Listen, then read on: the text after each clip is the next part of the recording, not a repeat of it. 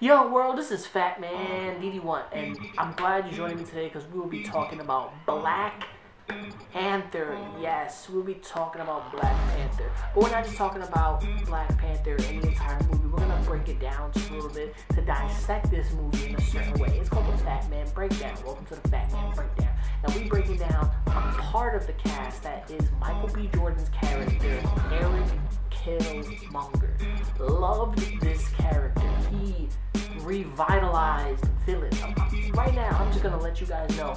Marvel villains don't grow on trees. Every time Marvel does something to a villain and they disappear forever, they don't grow on trees. I'm gonna be honest with you. We can't keep going from villain to villain to villain. That's not how the comics work. They stay alive, okay, Marvel? But this and the direction it took made Eric Killmonger more human. Oh, by the way, straight up forward, everyone, this is a spoiler review. I will not be doing non-spoiler reviews. I may, may not. It depends how I feel at, at a certain point. But if I want to out all the truth, I'm gonna do that. So this is a spoiler review. If you don't want to be spoiled, I'll make a second review for you. If you do want to be spoiled and you're still watching, just you know, stay watching. Just getting into the spoiler review. If you're still watching me, thank you. Alright, now let's get into this. Eric Killmonger's character is an amazing character. Right off the bat, this character is brought forward just fucking incredible. We have we have rage, we have anger, but we have understanding, we have compassion. We have a character that is for the people. You know what I'm saying? Like Wakanda's about being for just Wakandans and the Wakanda nation itself, not being for the rest of the African Americans that came from Africa. Life started there. Eric Killmonger wants to change that formula and wants to change the world, having black people be on top, be the rulers, be the destroyers, the vendors, to, to, to basically defeat the white man. But moving forward with his character, we see that he's being blinded. Like a lot of villains have been blinded in the Marvel universe with just their intentions, but was broken down more simplified. Not in a way that we will take a villain and just take his head off and be like, well, there's nothing much here. You know what I'm saying? He was a full package of understanding, commitment, and what he believed was right. You even felt for the character at one point for his moment of being in the museum and looking at all the artifacts that were just taken from its homeland and found there was a piece of vibranium there. Him working with Klaue was kind of like a an understanding moment. It's like, well, I need you for this so I can put my plan in perspective. Which was amazing because him using Klaue element, that element meant something. Everything in this movie meant it had a position to be played. And if it was played, it was played freaking well. I tell you not. Especially when it came down to him coming back to Wakanda, coming back to his father's homeland. Now, we'll get into more of his dad in a couple of minutes, but I'll just break it down for you. As he approaches Wakanda, as he throws them Klaue's body, because he basically betrays Klaue, and yeah, it kind of ends dirty for Klaue. Ulysses Klaue is dead. I kind of didn't want him to die, because I also remember him, like, being an Ant-Man, so I kind of like, oh, could we could have thrown him there. But he was Klaue's character, by the way. Just a disclaimer: Klaue's character was amazing in this movie. Uh, I don't know why. It just felt more. it felt more alive and unique and just fun.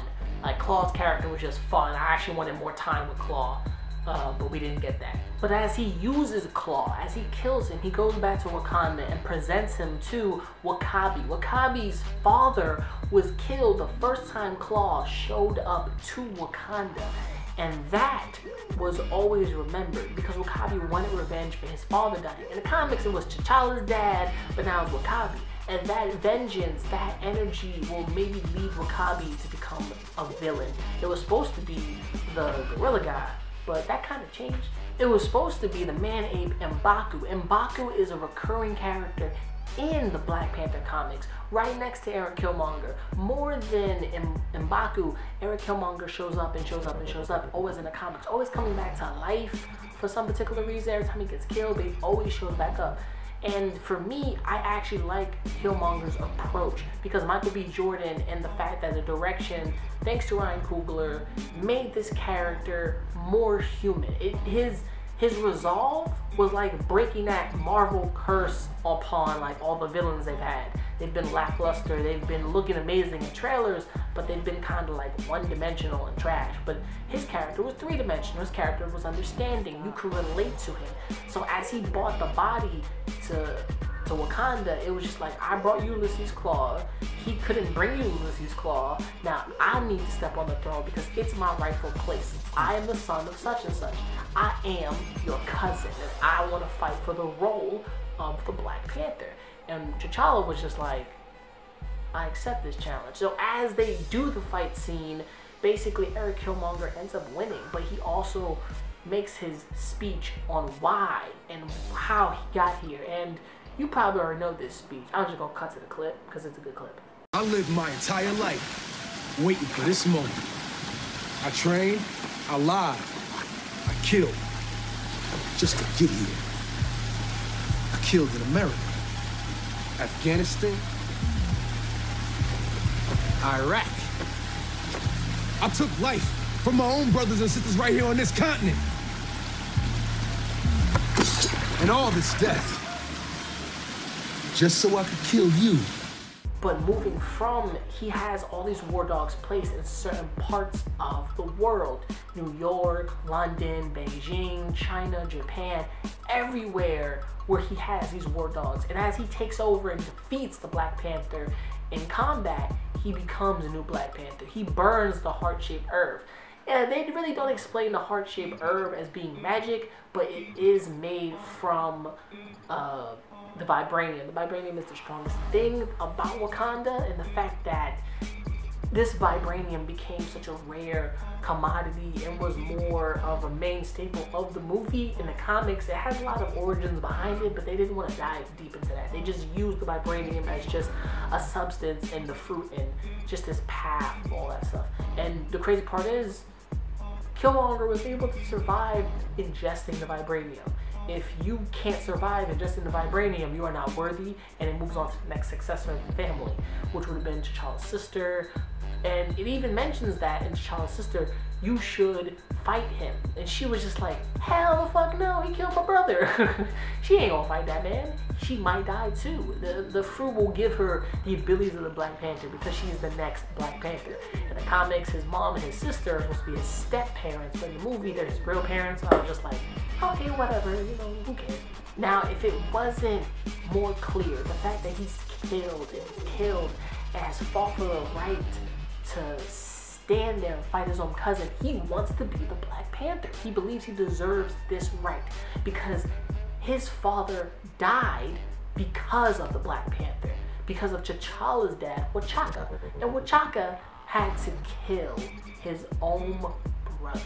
And that's that's worse because you doing that just it just left an orphan Killmonger. It left him orphan. It left him becoming and moving up in the ranks of the United States government, learning how the Americans think, learning our history, learning everything about us, just just people in general, and then coming back to Wakanda and sharing that information, him being a spy, a war dog, War Dogs were also uh, known in the comics as Panthers Enforcers. Biggest part of the, the comics is the War Dogs, and also Black Panther's adopted brother, who is like a white African, he's a white dude. He works for the War Dogs, which is kind of cool, right?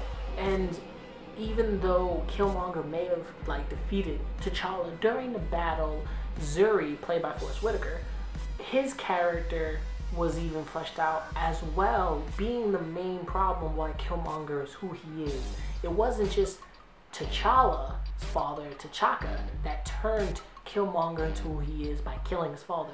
Basically, long story short, Killmonger's dad was basically sent out to spy on like the world, on the United States and on the Americans living in the slums and poor. You know what I'm saying? Living living in like an okay place.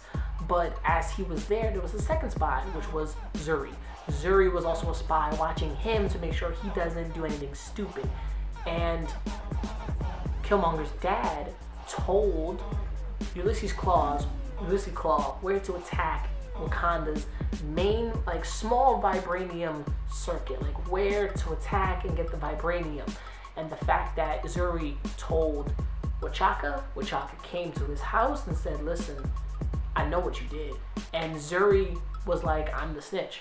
I am Wakandan." And the fact that that happened, he was like, "You betrayed me." He tried to um, Killmonger's father tried to shoot Zuri. It ended up being Killmonger's dad who's dead because of Zuri and T'Challa's dad. And knowing that Killmonger killed Zuri because Zuri was like, I have regret. He's like, oh, you have regret, you gonna die. and he killed him. And then he he thought he killed T'Challa, but that turned into another part of the movie that we're gonna talk about later. But this is just a Killmonger review for now. But the fact that Killmonger was able to do everything he was going to do. He joined special forces. He he freaking graduated from the highest schools ever. He became better than what people looked at the regular African American. He wanted to help all the black people around the world instead of the people in Africa and Wakanda. Because he looked at T'Challa like, why are you guys up here sitting comfortable in the lap of luxury? You have all this money and all this power, but you're not using it to help your people. That's fucked up. And it's not.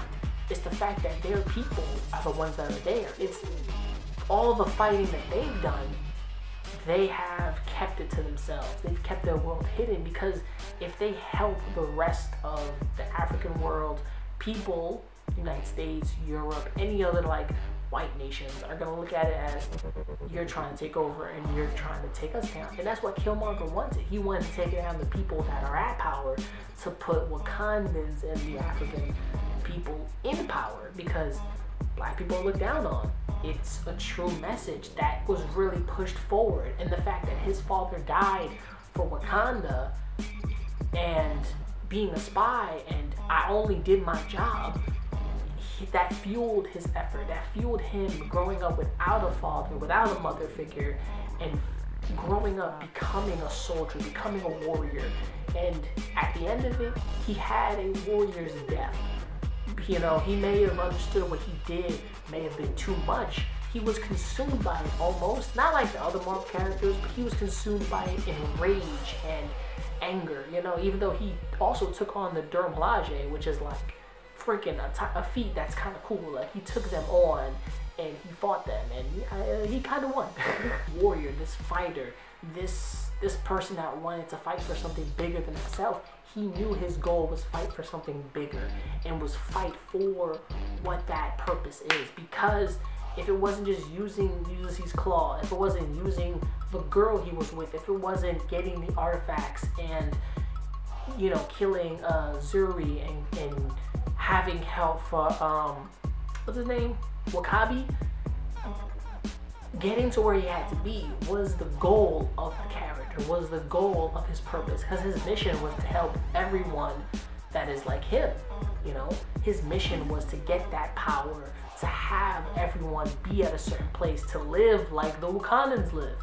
But his purpose and what he stood for was going against what Wakanda stood for. But then at the end of it, even when he had a warrior's death, T'Challa understood where he was coming from and he sympathized with it. And he said, you know what, you're right maybe we're doing it wrong. Maybe we should move forward to help and see what we can do. And that was the best part of the movie. That was the best part of the message that no one really got. I believe everyone got that message, but that was part of the message that kind of was glossed over just anger because he was spewing this anger, but he also was, was speaking facts, you know? And that was what caught me at the end of it. He's like, I'm, he's like, when you bury me, just throw me in the ocean, like my ancestors before me. That was just beautiful. And I, that was why I love Michael B. Jordan's character. That's why I love Killmonger.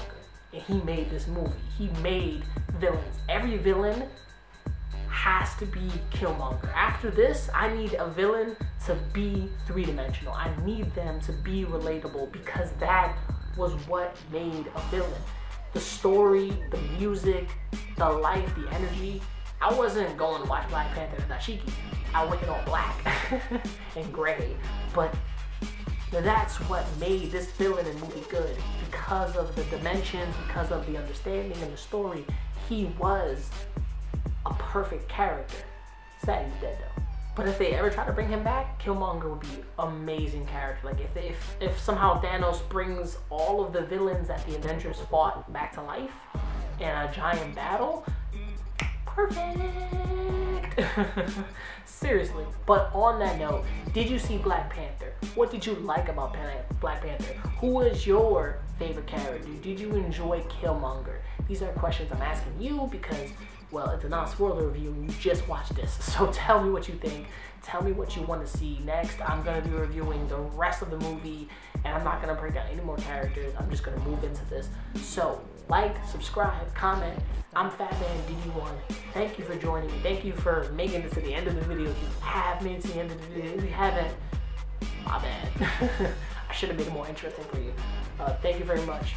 Peace, and I'm out. She see money all around me. I look like I'm the man. Yeah, but I was and out like.